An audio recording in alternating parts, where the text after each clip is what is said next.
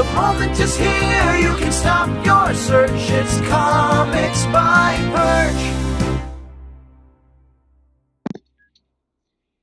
Hey everybody, this is Perch. Uh, I don't normally delete videos before they, you know, or rather recordings before I make them into videos. Every now and then something to record right, but I mean, you all dealt with my bad audio for years, so you know that that bar is pretty, pretty high uh, or low, depending on your point of view. Uh, meaning the shit audio goes out. Okay, just sometimes need to be pedantic.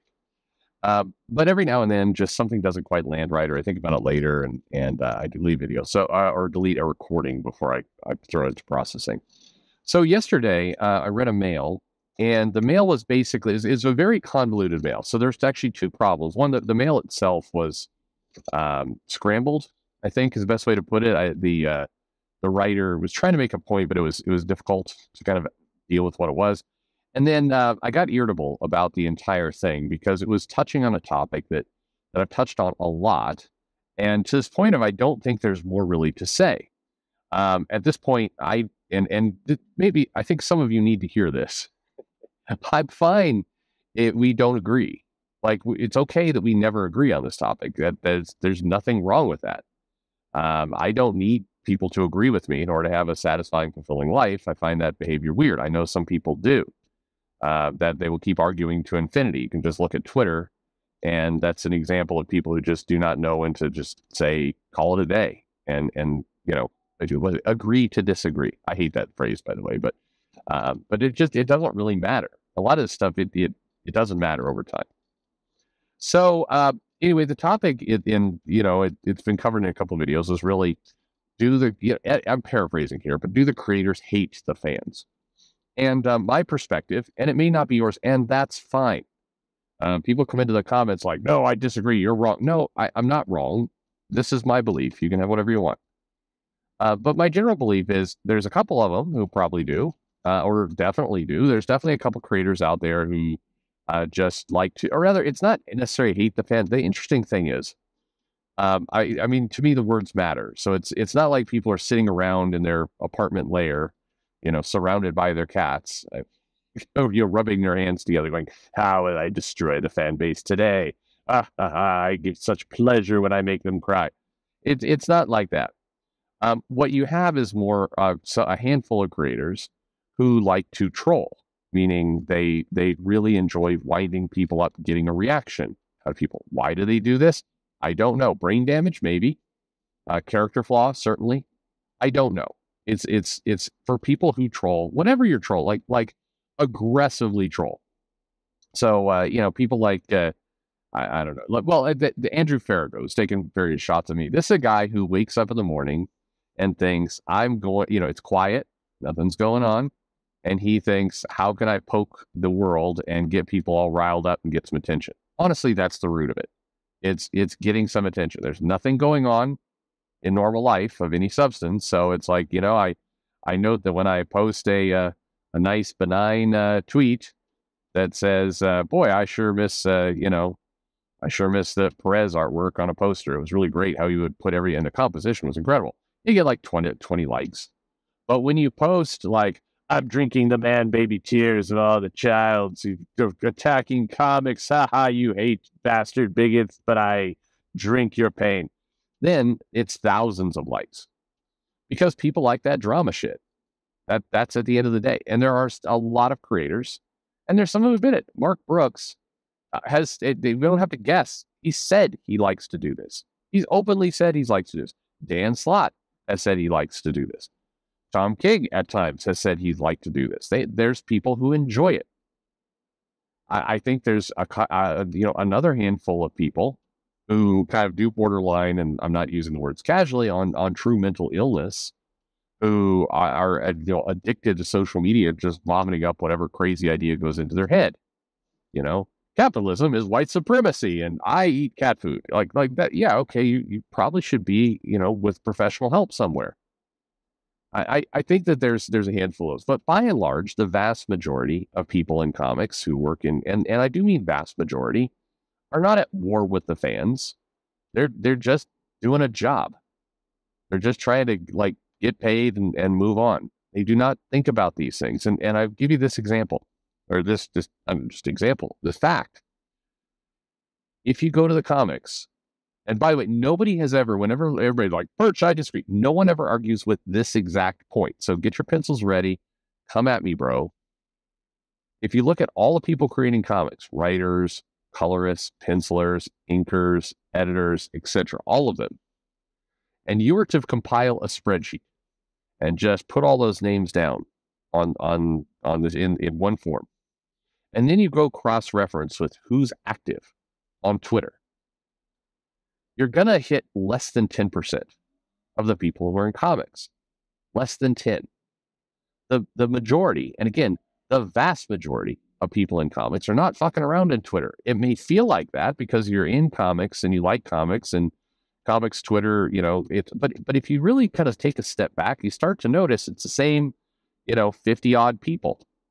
Well, 500 comics produced a month let alone all the people who are not actively working on a comic in a given month, various legends, etc., people from the past. You've got thousands of individuals.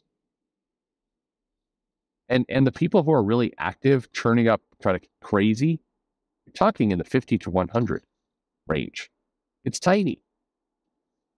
So, what does that tell you? Well, it tells you that the vast majority of people working in comics are just trying to do their fucking job um, and they're not there. But and and by the way, that takes nothing away from many of you who have made very valid points about the a holes out there who are out there poking and anti antagonizing. I agree with you. I agree. There's no there's no reason for that. And please don't uh, sleep on that statement I just made because a lot of people like to ignore it. Oh, Perch says everybody's great. No, no, everybody's not. And if you're acting like a buffoon, then the, the proper and correct thing to do is your employer goes, hey, you're fired. That is a proper and correct thing to happen in this situation if somebody is out there deliberately poking and antagonizing people. But let's not pretend it's the vast majority of people in comics because it just isn't. Now, why is that important to me? Well, because it to me it it it paints and again, this this applies just to me, not trying to convince you, not trying to change your mind. But to me, I, I think if if the the entirety of comics was out there intentionally at war with uh, its customers, I, mean, first of all, it would be a completely broken system and it would disintegrate very very fast. And no, uh, the comics is still plugging along, doing great. No, living up to its potential. No, not that either. But it's not dying tomorrow.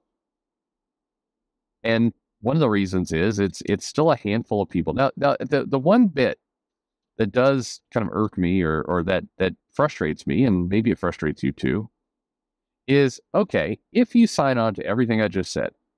It is a uh, you know it's a it's a small amount of creators in the grand scheme of things. All the people working in comics who are out there uh, being being crazy people online.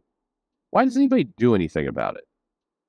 like uh, you know it's it, it you, you can't sit there and and go to one of like a you know a David Gabriel for example who does not you know troll fans on social media but he is in a position where in theory David Gabriel could come in and say hey a bunch of you are fired for doing this why doesn't he do that and I do think that's a problem I do think people should be held accountable and and like I said in other videos uh, you know to me the the thing that you know frustrates me over time more is not the uh, freelancer who's trolling uh, people on on social media. It's the management that isn't stepping in to do something about it. That does that does frustrate me. Now I don't think they're equivalent because there's a lot of factors. If you've ever run a company or hired independent contractors or freelancers, it's not like you. It, it's not as simple to walk in there and be like, I'm going to fire everyone. I see people every now and then uh, come and tell me, like, if I was the president of Marvel, I'd go in there and fire everyone on day one, and then on day two, I'd I'd give them all a finger and I'd hire them back so I could fire them again because fuck those people. And okay, sounds nice and it's a wonderful fantasy. That is how you that that is lawsuit town what you're describing, because a lot of these companies are formed in states where just walking in and wholesale firing everybody is difficult. You know, you, you can fire somebody for cause. You have to have some justification. It's if you uh, if you do you know, you take advantage of layoffs. You can do that, but then you got to, you know, th- there's a bunch of factors here, and be it's not easy. Now, I think people should still do it, But I, I think we all should be, you know, be able to have a grown up conversation around how it's not as simple as just walking in with a giant cowboy hat and and chaps and and uh, firing everybody. Although it'd be hilarious to see CB Cebulski in a cowboy hat and chat. Well, maybe not that hilarious. Anyway, the other, the but I I went astray, kind of explaining some of this, and now we're at ten minutes, so I, I need to wrap this up. But the other part of this video, uh, maybe I'll get to next. So this is first half, and they'll do a second half because the mail that I answered in the video that ultimately got deleted was somebody who largely agreed with everything I just said. Um, but their their frustration, their question was about the fans, and the question was really about why do the customers, why do the fans need this to be true? Why do they need it to be a case where you know the the creators all are frustrated is like that? Why why is that why is that such a, a lightning rod for people? And uh, the the mail writer went down a path I couldn't sign on to agree to. It it just made me angry. Uh, to be honest, I did not agree with what the, the letter writer was saying. Um, but I, I won't deny one part of it. Every single time I do a video where I say, you know what, the creators are, they don't think about this as much as you think. I get very intense reactions. For sure it's probably the the thing I say that gets people the most pissed off. Uh, they're the lowest rated videos. I mean, it never drops below ninety percent, but still, they're they're the lowest rated in everything, and people don't like it. People do reaction videos, and people take it wildly out of context. Well, Perch says everybody's everybody loves us. Okay, again, no. But why? Why that particular topic? Why does that make people so uh, intense? Like I said, it's I'm at the 10 minute marker, a little bit past it now. So um, let's let's answer the second half of that in another video. We'll do a good old classic, uh, you know, crossover. So part two coming up in a minute. Thanks for listening.